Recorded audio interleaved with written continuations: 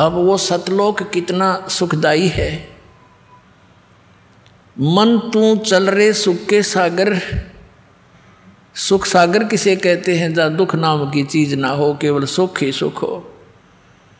जैसे समुद्र में समुद्री जहाज़ 200 किलोमीटर चला जाता है। आज इधर उधर देखते हैं तो कोई वस्तु जल के अतिरिक्त दिखाई नहीं देती। जहाँ देखे वहाँ जल ही जल जल ही जल जल ही जल दिखाई देता है।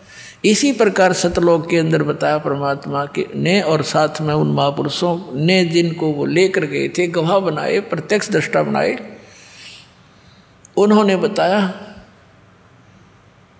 कि वो सुख सागर है।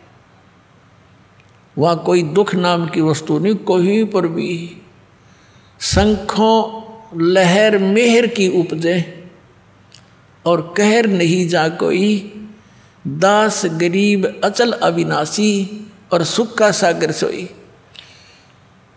अब क्या बताते हैं गरीबदास साहिब जी, परमात्मा के प्रत्यक्ष दृष्टा, भगवान को देख कर वहाँ के स्थान को देख कर जैसे पुण्यात्माओं दास के साथ तो बहुत बार बनी है ये कहानी।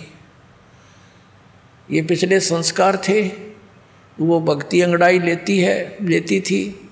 तो कई बार एकदम ऐसी मन की स्थिति हो जाती थी जैसे हम किसी ने कोई कटु वचन भी बोल दिया उससे दुखी भी होते हैं या कोई टेंशन बनी हुई होती है या किसी के, के प्रति और वैसे दवेश बना हुआ होता है तो वो कति खत्म हो जाता।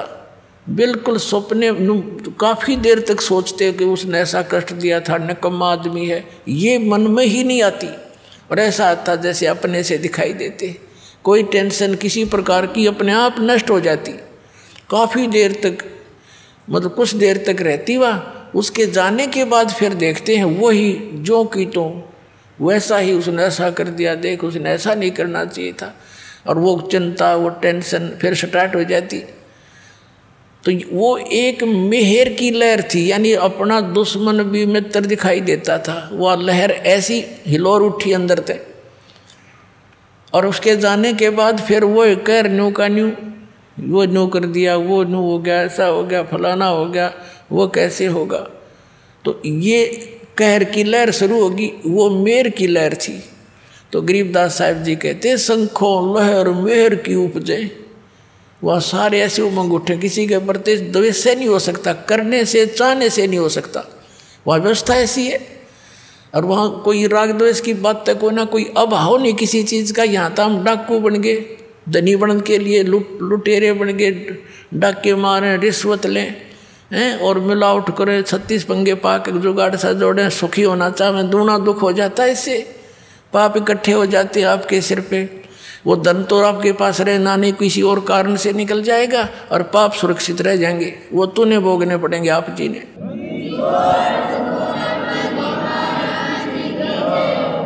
अब परमात्मा क्या बताते हैं कि शंखों, लहर, मेर की उपजे और कहर नहीं जा कोई। दास, गरीब, अचल, अविनाशी, सुख का सागर सोई। वो सुख सागर है। सतलोक, जहाँ अचल अविनाशी, शाश्वत स्थान, वो सतलोक है।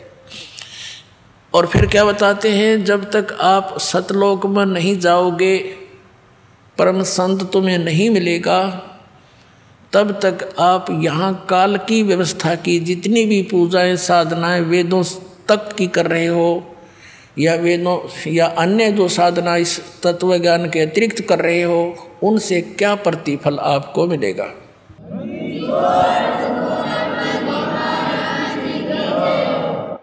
क्या बताते हैं? कोट जन्म तन वर्मत हो गे कुछ ना हाथ लगा रे। कुकर सुकर खरबया बोरे कौआ हंस बुगारे।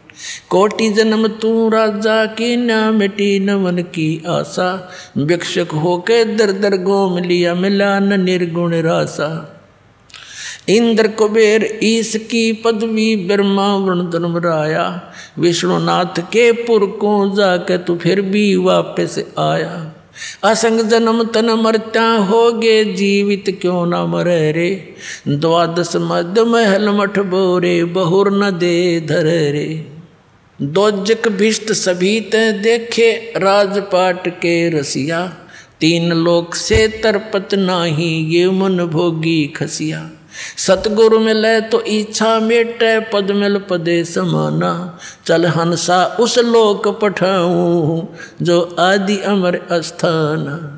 चार मुक्ति जहाँ चंपी करती, माया होरी दासी। दास गरीब अभय पद पर से, वो मिले राम अविनाशी। अब क्या बताया है कि जो साधनाएँ आप करते रहे, सतनाम और सार नाम के अतिरिक्त उससे आपको क्या मिला? कोटि जन्म तो भरमत हो गए कुछ नहीं हाथ लगा रे। कुकर कुत्ता सुकर सुअर खरगदा कुकर सुकर खरबया बोरे कौआ हंस बुगारे। कोटि जन्म तू राजा की ना। कोटि जन्म तू राजा की ना। मिटी न मन की आशा। और भिक्षुक होकर दर दर घूम लिया। ये मिला नहीं निर्गुण रासा। क्या बताते हैं गरीबदास साहिब जी, अपने परमात्मा को साक्षात देखकर पुणात्माओं आज का सारा ही सत्संग यानी ये जो तीनों दिन का सत्संग स्टार्ट जहाँ से हुआ था कि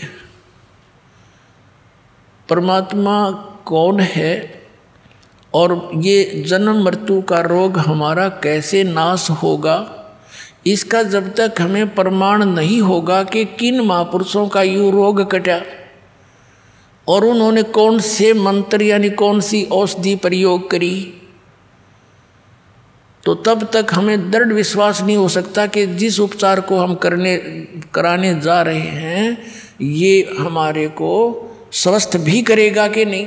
तो जब ये दृढ़ विश्वास हो जाएगा, फिर तो आप इस पर समर्पित हो जाओगे। और यो काम होगा ही होगा क्योंकि ये प्रमाणित है और हो चुका है। तो इसमें क्या बताया है कि साधों से ती मस्करी और चोरा नाल खुशहाल ये तो मल अखाड़ा जीतेंगे। भाई युगन युगन के माल, ये अच्छी आत्माएँ, जो युगों युगों से परमात्मा के चरणों में कोई न कोई संघर्ष करते हुए आ रहे हैं, उन्हीं में से आज सफल होंगे। जैसे पहलवान होते हैं एक्सरसाइज करते हैं, एक दूसरे के साथ कुश्ती करके, संघर्ष करते रहते हैं तो जब उनका आमना सामना दूसरे रेसलर से होता है तो उन्हीं में से विजयी होते हैं जो सक्सेस पहले से प्रैक्टिस कर रहे हैं। तो आप युगों युगों से करते आ रहे हो, आज की बात नहीं है। तो कहने का तात्पर्य यह है कि जो साधना हम कर रहे थे उन के लाभ होना था और होता रहा है। आपको तो पता ही नहीं, अब तो बालक हो, विद्यार्थी हो। टीचर ही मास्टर बताया करते हैं और डॉक्टर बताया करते हैं कि जो औषधि तुम खा रहे थे, इससे लाभ ये नहीं होना था। तो क्या बताया है कि कोटि जन्म तू राजा की ना मिटी ने मन मन की आशा भिक्षुकों के दर दर घूम लिया, पर मिला नहीं निर्गुण राशा। जैसे पुण्यात्मा ऐसी थी, राज भी त्याग कर परमात्मा की खोज में चल पड़े। कोई कहीं वनों में गए, उनका ये सोच थी कि वनों में साधु संत रहते हैं, पहाड़ों पर गुफाओं में रहते हैं, और उन्होंने भगवान पा रखा होगा, वो हमें बता देंगे, हम भी साधना करेंगे। तो उनके पास वो गए। उन्होंने जैसा उनको मार्गदर्शन किया, उन्होंने साधनाएँ भी की। उनके द्वारा बताए, बताई गई साधनाओं, भक्ति से क्या बेनिफिट हुआ? राजा बन गया। इंद्र का स्वर्ग का राज्य प्राप्त हो गया। लेकिन समय जब पूरा हो गया, उस राज्य का उसके पुण्य समाप्त हुए तो फिर पृथ्वी पर आ गया। फिर पृथ्वी पर राजा बन गया। राज का समय पूरा होते हुए फिर यहाँ पृथ्वी पर कुत्ते गधे, सुअर की योनियाँ प्राप्त करके यहाँ भटक रहा है। तो क्या बताते हैं, कोटि जन्म तन बरमत हो गए और कुछ नहीं हाथ लग्या रे अब हम अपने जब तक सत्संग नहीं सुनते, अपने ही विचारों से, समाज के से सुने हुए उस ज्ञान से, हम किस रंग में रंगे हुए थे, कोठी बना दें, बढ़िया कार ले लें, और अच्छी प्रॉपर्टी बना दें अपने बच्चों के लिए। अब उसकी मृत्यु होगी, वो कोठी और वो कार, उसके के काम आई? कुछ दिन के बाद बच्चे भी दुर्घटना से या कोई रोग से मर गया कोठी वहीं रहेगी तो कहने का भाव यो है, परमात्मा कहते हैं कि कोट जन्म तन बरमत हो गए कुछ नहीं हाथ लगा रे। या मृत्यु होगी, पुण्य पाप के आधार से स्वर्ग और नरक में गया। वहाँ अपने समय जितना निर्धारित था, स्वर्ग का पूरा किया, फिर नरक में, नरक का निर्धारित समय पूरा किया, फिर चौरासी लाख योनियों को भोगने के लिए पृथ्वी पर। और पृथ्वी पर आ गया तो फिर कुत्ता बन गया। कुत्ते का समय पूरा होते, गधे की ओनी में, गधे का पूरा होते, फिर सुअर की ओनी में। अब यहाँ गरीबदास साहब जी ने बताया है, आगे गए ना बावड़े और रहते भी सब्जा बावड़े माने वापस आए। और रहते भी सब्जा और बिन साहिब की बंदगी की तो ठोर ठिकाना ना। अब जैसे यहाँ पुण्य पाप किए, पुण्य के आधार से स्वर्ग गए, अभी आपको बताया। स्वर्ग का समय पूरा होता है, होते ही जबर बाई फोर्स जैसे यहाँ ज़बरदस्ती मृत्यु आपकी की जाएगी। ऐसे ज़बरदस्ती वहाँ से मृत्यु करके आपको नरक के अंदर। नरक का समय पूरा होते हुए फिर कहा, चलो, गधे की योनि में। गधे का समय पूरा होते चल कुत्ते की योनि में। उसका पूरा होते चल सुअर की योनि में। तो पुण्यात्माओं, फिर एक टर्न वाइज एक नंबर एक मनुष्य जीवन फिर से मिलता है प्राणी को, चौरासी लाख योनियों के कष्ट भोग कर। तो उसके अंदर अगर संत नहीं मिले और ये मार्ग नहीं मिला तो फिर वही चलो चलो वो उसको लू में फिर गिर जाओगे। पूरा पूरा प्रोसीसर प्रोसेस है ये। चौरासी लाख योनियों के अंदर घूमने का। तो इसके लिए बताते हैं कि कोट जन्म तन भरमत हो गए कुछ ना हाथ लगा रे और कुकर सुकर खरबया बोरे कौआ हंस बगारे। कोटि जन्म तू राजा की न मिटी न मन की आशा, और भिक्षुक ओ के दर दर घूम लिया मिला ना निर्गुण रासा